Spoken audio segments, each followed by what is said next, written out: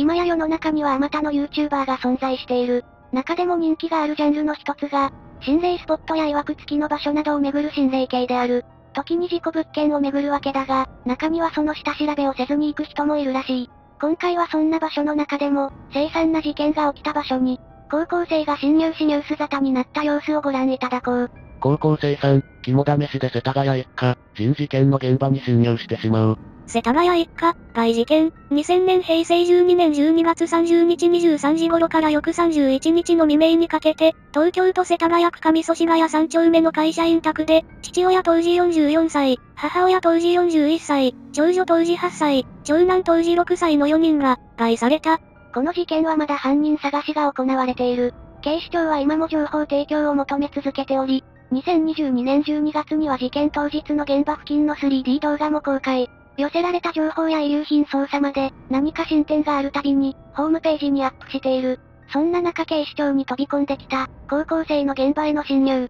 その様子を目撃した近隣住人による通報で、事態が発覚したようだ。ここってポリボックスもあるやろ。こういう、可のせいで真面目な若者全体の株が下がるのが一番嫌だ。心霊系 YouTuber のせいでもあるとはは思うけどな。あいつら普通に、人事件の現場行くし。10人って多すぎやろ。ここ周りが公園になってるんだよな。そら公園の中に謎の家あったらガキが興味持つのもわかるかも。ただでさえ現状保存が厳しいってなってるのにこういう奴らが集まって騒いだら色々やばいわ。全く擁護する気はないけどタイタニックの沈没現場見に行くのと本質的に何が違うの事故と、人事件は意味合い違ってくるやろ。しかも遺族がどんな気持ちで現場を当時のまま残してるのかと考えるとね。興味が湧く気持ちもわかるが、私有地に立ち入るような迷惑行為は厳禁だ。もし侵入しているならず者を見つけた際は遠慮なく通報だ。関ヶ原なんか大勢の、試合現場が観光地になっとるけどな。戦国時代の戦争、かっこいい。現代の戦争、やめろ、なんでやろな。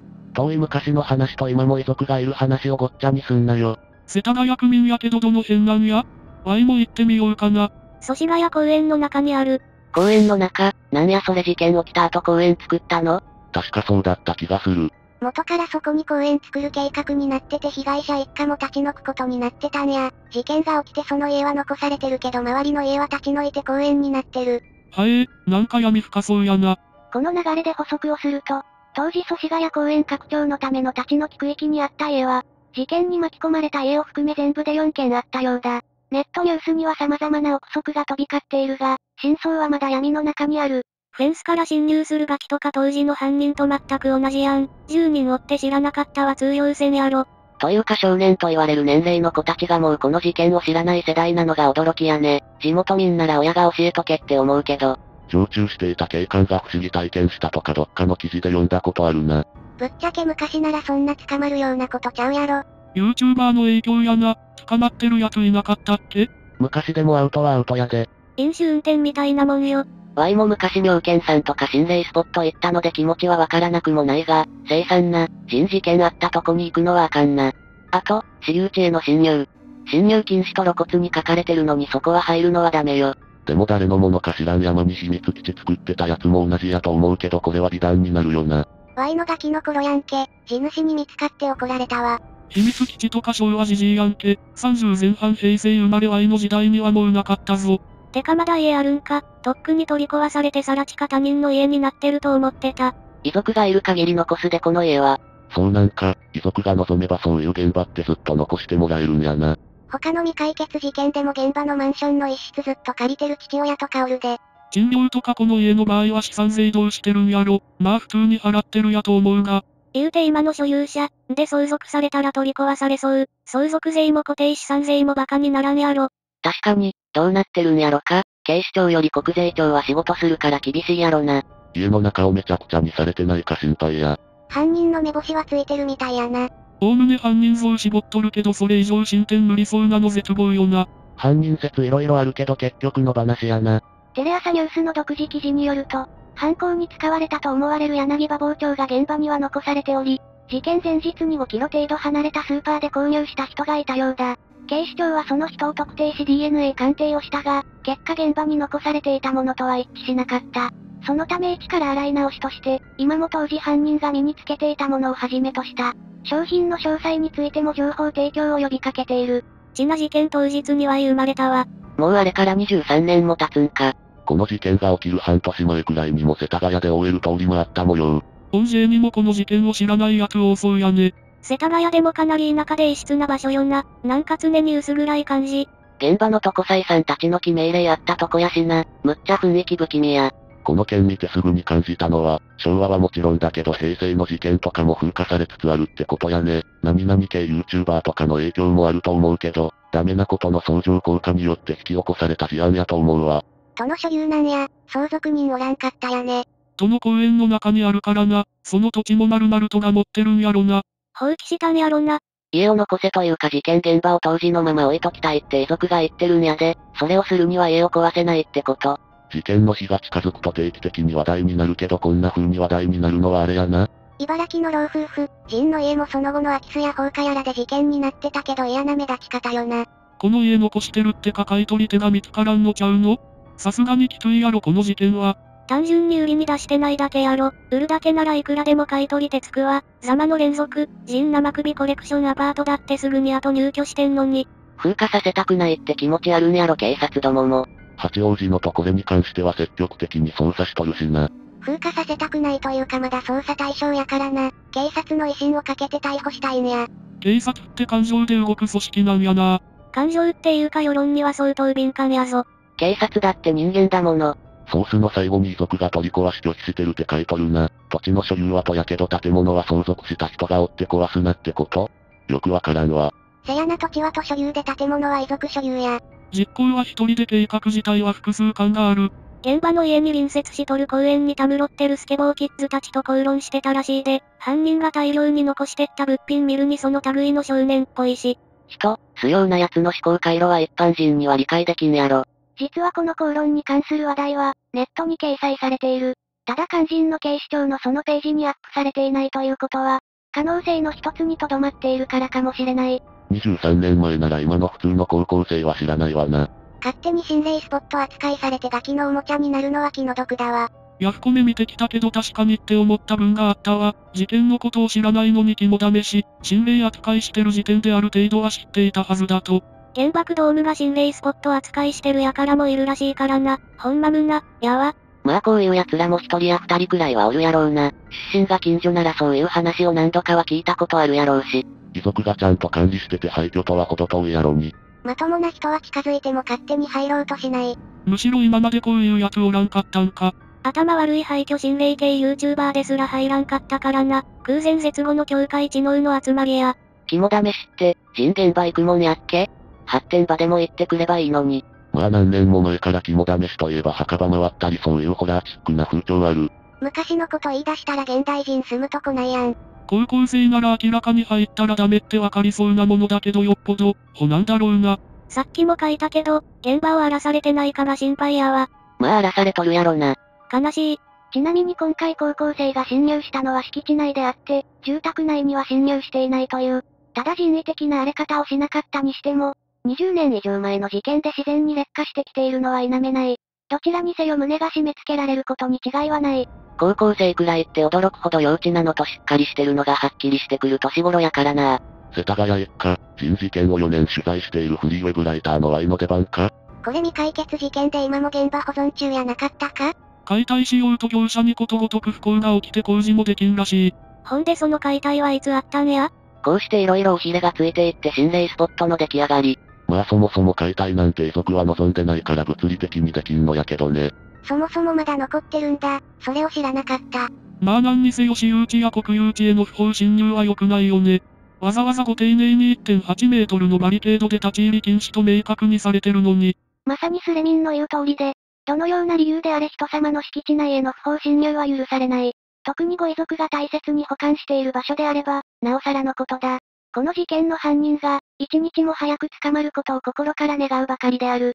さて次は、大人気 YouTuber はじめ社長が、心霊スポットとも呼ばれる異例の森に行った配信が炎上しているという話題をご覧いただこう。はじめ社長炎上しとるけど異例の森ってもともと心霊スポットで有名なとこだし別によくね？これは2020年2月4日、大人気 YouTuber はじめ社長が投稿したとある動画が炎上した時の話題だ。はじめ社長が岩手県にある異例の森を訪ねた際、動画内で心霊スポット扱いをしたとして世間から非難が集中した。2チャンネルでも一番ヤバい心霊スポットは異例の森という風潮だったし、他の心霊スポットランキングのサイトでも1位で異例の森出てるのに、いざ行ったら騒ぎ出すの最高にうぞうむぞう感出ててヤバいよな一般人、地元民だけど系、東北民特有の演出さが溢れる、あそこはヤバいよ系、心霊スポットだと認めてる、これだから YouTuber は、自分より稼いでる人に嫉妬してる、真似する人がいるから系、偽善者、結局正義マンしかいないネットの世界。輸出呼ばわりされている東北民は怒ってよい。ちょっと何があったのかわからない。異例の森行って炎上。異例の森は岩手県岩手郡雫石町にある、全日空機雫石衝突事故にあった方々の位牌を安置している場所だ。その事故から50回忌の節目にあたる2020年には、異例の森から今現在の森の雫公園に名前が変更されている。大丈夫ですよ、お祓い行きましょう、とかリプしとるやつ多くて怖いわ。なんや遠足しただけか。心霊スポットと認めてる定期。動画消えたわ。異例の場所をおもちゃにしたら叩かれてもしゃあないやろ。異例の森は心霊スポットで有名な場所だから心霊スポット目当てに行くのはしょうないやろ。人が、だとこに行って霊が出る、とかキャッキャするなんて全員まとめて、かやで。まだ遺族が生きとるのに大々的に公開する方が、かなだけやろ。遺族も忘れてほしくないやろ。こうやって話題にしてもらえる方が Y が遺族だったら嬉しい。お前遺族じゃないじゃん。話題の仕方にも良い悪いがあるやろ。ネットの悪ノリまんまで商売したらいかんでしょ。それがネットの良さだろ。テレビばっかで無菌室状態で育ったやつが増えたんかよ。広告つけてないならそれでいいけどスポンサーおるならあかんのちゃう。動画消えてるって思ったらそういうことか。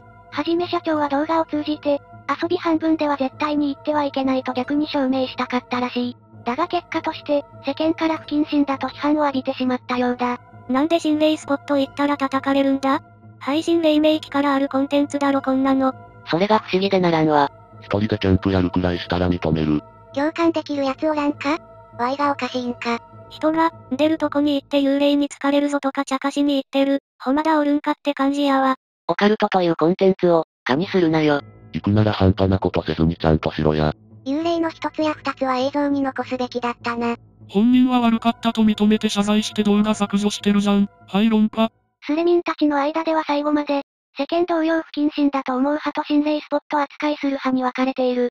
ただこうした供養し悲しみを癒す場所に、目的以外で行くことは慎んでほしい。さて次は、とある心霊系 YouTuber が廃墟であらぬものを発見してしまった話題をご覧いただこう。炎上、心霊系 YouTuber、廃墟でとんでもないものを見つけてしまい謝罪する事態に。これは心霊系 YouTuber がやってきたとある廃墟。とても怖いと名高い心霊スポット、神奈川県にあるホテルスカイラブだ。このホテルで昔、女性の命が奪われる悲惨な事件が起きたとも言われており、ホテル自体は2004年に廃業している。どうやら壁に書かれていた数字、皆さんの中にも最初の数字でお気づきの人もいるように、某先輩のあれだ。意図せず卑猥なものをあげてしまったと、投稿者が X で謝罪することになった。その真摯な姿勢に視聴者であろう人たちが、YouTuber をフォローするようにリプを送っている。そもそもホテルスカイラブは、ラブホテルだ。そのため面白がった人が落書きをしていったことも大いに考えられる。YouTuber はリプをくれる人たちに丁寧に謝罪して回っているが、ある意味運がなかったようにも思える。正直笑った。言うほど知る人ぞ知るようなことでもないやろ。実力不足って言い方草、何の実力やねん。好感度爆上げやん。なんであれんねん意味わからん。もう許せるぞおい。これの意味知ったところで卑猥だから謝罪するって発想がわからん。別に直接的なもんじゃないやん。草、こんなんで怒られるんか。某先輩のネタを知っている人にとっては、いいよこいよが心霊ネタにされる面白い展開だ。だが内容が内容なだけに、不快になる人もいるだろう。廃墟に書かれてる壁の数字落書きなんてほとんどドキュンのスプレーによるものやしこれに関しては確信犯やろ。誰が怒るねんこんなもん。言うほど陰夢ネタって卑猥か自分で書いたんやろな。深夜だから笑っちゃった。こんなんで不快になってたら生きていけねえだろそいつ。リプの対応から見る限り、とても真面目な人のようだ。動画を楽しく面白く見せるのも YouTuber の醍醐味なのは言うまでもない。だが実はそれ以上に動画以外の場所で見せる姿が、一番視聴者の心を足掴んでいるのかもしれない。さて次は、事故物件系大物 YouTuber の諸々がバレてしまったという話題をご覧いただこう。炎上、事故物件系大物 YouTuber さん、やらせがバレなおかつ住所もバレてしまう。心ない人に住所を特定され某掲示板で行こうぜとか潰そうぜとか書き込みが多く見られました。うちに、来たりするのは本当にやめていただきたいです。門出の日を最悪な形で迎えました。2021年某日、某掲示板に潰しに行くといったような、書き込みをされてしまった事故物件系大物 YouTuber。それに関して当人から絶対にやめてくれという旨の内容が X に投稿された。ただこれが本気で書かれたかどうかは定かではないが、嘘だという確信がないのもネット社会の恐ろしさだ。ちな最新動画で幽霊かっこ影と会話してたで。幽霊と会話する動画なんて価値確定やな。事故物件 YouTuber にふさわしいお家になったな。マジの事故物件になった模様。山級じゃないならええわ。こいつってやらせバレバレのやつ？せやで、影をレーザーポインターで撃退したとかやっとるやつや。霊を殴ってみたとかやっとるやつとはまた違う？そいつや、レンチで思いっきり殴ってたわ。大物 YouTuber ということもあってか、スレミンたちもよく知っているようだ。どの世界でもそうだが、大物になればなるほど目もつけられやすい。どうか筆者が有名になっても家には来ないでほしい。門出ってなんや？勤めてた会社辞めて YouTube に専念した矢先に特定された。前から握ってたんやろな。山級もそうだが最近心霊演出やりすぎな YouTube チャンネル多くね。なんジェイミンが押し寄せるとかほんまもんの事故物件やな。こいつは勝手に廃墟は行ったりしてんの？山級は楽しく見てるわ。コメント欄でやらせ認定キッズが暴れ回って袋叩きにやってるの見るのも好き。山級ってあれどうなってんの？山級は本物やと思うんやがどうやろか。山級はやらせでもなんでもなんとなく見たくなるから続けてくれ。誰やねんこいつ、なんも知らんけど他人の所有物件を事故物件と好き勝手紹介しておいてこんなこと言っとるんか？ちなみに山級氏は事故物件系 YouTuber で、実際に事故物件に住んでその様子を中心に YouTube で配信している。最新動画やで、ちなお供えした日本酒が濁った模様。日本酒って放っとくと黄色くなるっしょ。ホラーゲームのネタバレみたいになってるから、そこ。空気読んでもらわないと困ります、お客さん。YouTube もバンしろよこういうので金稼ぎしとるやつ。本人たちはこれは事実です、ドキュメンタリーですって断言してやってんの？あくまでモキュメンタリーではなくて？やらせじゃないって言い張ってるで。むしろやらせ指摘してきてるやつを煽っとる。やらせと判断されるかどうかは、見る人が心霊現象を信じてみるかどうかでも大きく異なる。皆さんはこうしたものに関してやらせだと感じるだろうかそれともやらせはないと思うだろうかどちらにせよ、何事もなく YouTuber が平和に過ごしていてほしい。さて次は、大人気廃墟系 YouTuber が行方不明になったという不穏な話題をご覧いただこう。心配、登録者17万人で大人気の廃墟系 YouTuber が行方不明になってしまう。Twitter も YouTube も更新なし、仲間内の LINE メールも既読にならない模様。これは絶望的やね。大人気廃墟系 YouTuber の菊崎一華氏の動画が、2022年3月8日のアップを最後に突然更新がストップした。それがファンの間で騒動になった。YouTuber の菊崎一華さんが行方不明になった。警察に捕まったのなら不幸中の幸い。廃墟の床を踏み抜いて下まで落ちて動けないとか、トレッキング中に滑落したとか、最悪な事態もあり得るし、自宅で心不全を起こして亡くなっている可能性もある。どうか、無事に戻ってきてください。菊崎氏が Twitter に最後に投稿したのは、2022年3月2日。それ以来更新がなく、その約2週間後には、視聴者であろうファンから心配の声が上がっている。探しに行けばいいのに。誰？廃墟とか犯罪者おるやろ。廃墟系って何？ニュースになってたの菊崎なんか？なんか危険な山かなんかに撮影しに行ったみたい。仲間内の YouTuber が猛反対したのに強行したらしい。なぜ無謀な挑戦する奴は周囲の猛反対が着火剤になるのか。こいつも風船おじさんと同類やろ。ホテルのオートロックで閉じ込められた説。こいつ一度それやらかしとるぞ。以降かなり用心するようになったらしいから違うと思う。どうやって抜け出したんや？確かそこまで言わなかったはず。もう何年も前の動画やな。YouTube で検索したら100万再生レベルあって草。この界隈では有名なんやね。更新が途絶えた当時の菊崎氏の YouTube 登録者数は約17万人。界隈では有名な人だが、皆さんはご存知だろうか？ミイラ取りがミイラになったか？先住民に襲われたか？ニコニコにいたサハンとかの実況肝試しは好き。誰も使ってない廃墟に入られても誰も困らんやろ。人が住まなくなった途端どこもかしこも心霊スポット扱いになるのはなんでや？捕まったから全部没収されたんやろ。警察も最近不法侵入で取り締まり強化してるからな。鬼怒川の廃墟ホテル入ったやつも捕まりそうやし。同じ仲間には南アルプスの危険な鉱山にアタックすると言ってた模様。完全に滑る、やん。ちなみにその後、菊崎氏と親交のある方が同月27日に彼の自宅を訪問し、姿は見えなかったものの声から当人だと確認。また警察からも生存確認が取れたという。現在では廃墟系 YouTuber を引退し、史跡などの動画をアップしているようだ。ただなぜ消息不明になったのかその原因は、未だ不明のままである。さて次は、怪談系語り部の稲川淳二氏が、過激化する心霊系 YouTuber たちについて言及している話題をご覧いただこう。過激化する心霊系 YouTuber に稲川淳二からの警告、下手したら、過激化する心霊系 YouTuber に稲川淳二からの警告。下手したら命を取られますよ。今や夏の風物詩の一つとしても知られる怪談の語り部、稲川淳二氏。テレビでの心霊番組減少に伴い、YouTube やニコニコ動画などネットへも進出している。各動画サイトには心霊スポットで数日暮らしてみた。というような過激なコンテンツも多い。新しい環境で活動するに伴い、怪談のレジェンドは同僚者へ注意喚起をした。引き際をわきまえて飲まれないようにすることが大切です。ロケをしているとたまにあるんですよ。異様な金属音や気配を感じることが。見えないからわかりづらいですけど、見えるものよりはるかに恐ろしい。この状況で無茶すると、下手したら命を取られますよ。廃墟探索や心霊スポット巡りの趣味にのめり込むあまり、精神的に良くない状況に陥ってしまった人も少なくないんですから。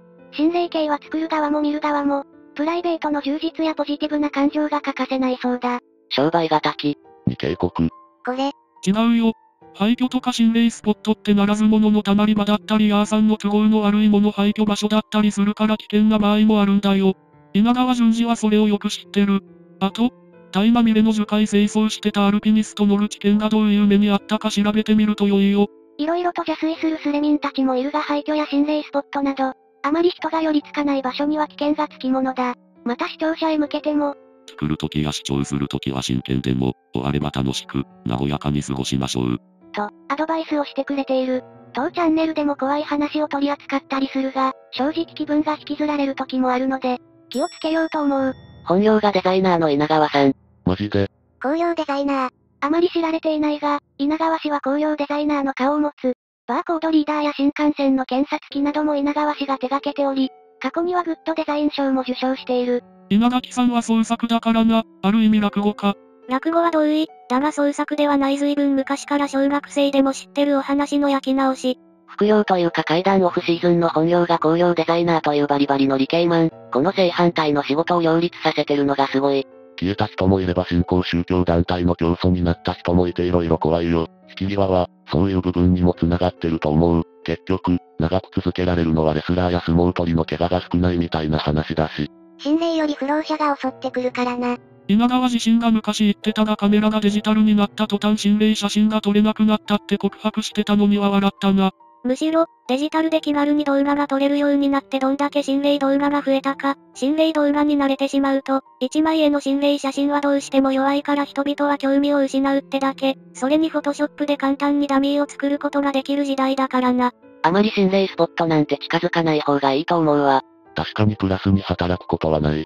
階段嫌いなんだけど声が良くてすぐ眠れるから寝る前にごま団子聞いてるわ。でも必ず怖い夢見るから普通の朗読やってほしい。というか廃墟は普通に危ないよね。触らぬ神にたたりなし。15年ぐらい前は心霊スポットにマジでチンピラが溜まってた。個人では行かない方がいいわ本当。フィルムからデジカメになって心霊写真なんかなくなったな。オーディオでも、よくある話、アナログからデジタルに変換する過程で大事な情報が抜け落ちるとか。稲川さんより北野誠の怪談の方が面白い。北野誠に関してはどんな怪談話よりバーニングのドンに睨まれた話のがよっぽど怖い。ざこば師匠のバーニング発言もある意味怖かった。かっこよかったけど。お稲荷様は怒らすと怖い。とか。お稲荷様に一度お参りすると生涯を通してお参りすべし。なんて話も私は素直に信じてしまうから心霊話は大の苦手だ。日本全国にはそうした怪談や迷信が多く存在している。ものによっては事実のものもあるだろうし、地域や教訓のために作った創作話もあるだろう。この類の話は創作と現実の区別がつきにくいが、あまり神経質になると疲れてしまうため普段通り生活するのが一番だ。稲川って日光機乗ったのに生きてるんだっけ？回避して代わりにスタッフかなんかが乗ったんじゃなかったっけ？心霊スポットが怖いんじゃなくて心霊スポットにいる人が怖いんだよ。いや、ザトホームレスな、バッティングしたら何されるかわからん恐怖。霊なんていないって科学的に解明されてるじゃん。逆、医学的には証明されている。そりゃあんたの周り。わしの家族は医療従事者だけど信じてないよ。しかし、世界的に頭が良いとされてる人の7割が霊の存在を認めてるよ。とにかく、くぐれ。この世が、この世界かもしれないだろ。心霊スポットなんて乗り込んでもなんともない。荒らしても寝ても平気ってバレてきたからな。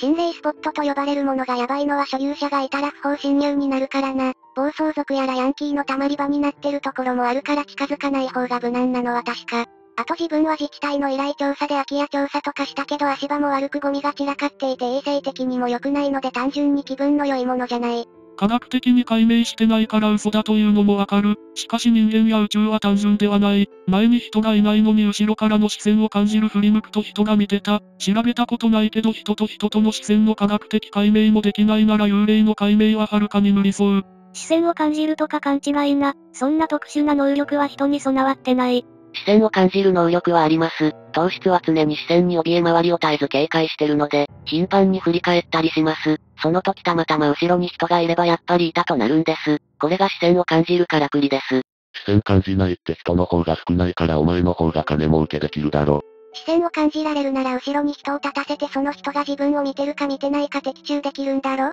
そんな能力がある奴がたくさんいるとか頭大丈夫かお前。その定義が間違っている。定義って何？視線を感じるイコール後ろに人を立たせてその人が自分を見てるか見てないか的中できる。今調べた、視線は科学的に解明されてないらしい。されてないのに備わっていないと断言するのは間違い。解明されていないのになんで備わってないとわかるの？幽霊はいる幽霊はいない。科学的解明を言う人たちは解明されていないのにいないと断言してるのは大きな矛盾してるよね。まあしかし稲川淳二も名作家だよ。心霊話って意外と作りやすいのかもね。稲川淳二のところにはいろんな心霊話が寄せられるんだって、それをモチーフにして作っているようなことを言っていた。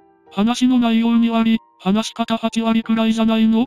最近は怪談作家による怪談話をまとめた語りオンリーの DVD が出てるけど話が下手なやつは本当に苦痛だかんな。いくら話が良くとも語りが下手すぎて頭に入ってこない。やっぱり語りの場合は内容よりリズムとかムードが大事。なんだかんだ言って芸人はうまいよ。正直、持ってる感は否めないけどわかりやすいし聞き取りやすい。嘘か本当か？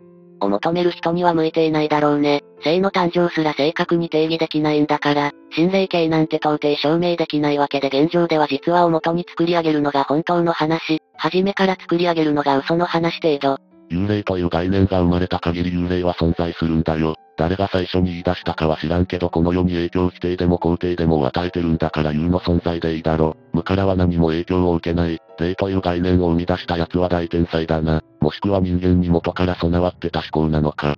神もそうだけど、わからないものを無理やり生み出して、分かった気になることで安心、心が健康になる。それは人にとって必然なので、そういう意味で存在するよね。稲川ほんと。これ手書き見分けつかん。